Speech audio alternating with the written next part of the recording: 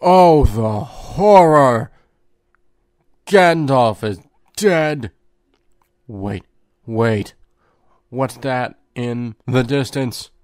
So many bright colors running towards us with a vengeance. It's John Cena!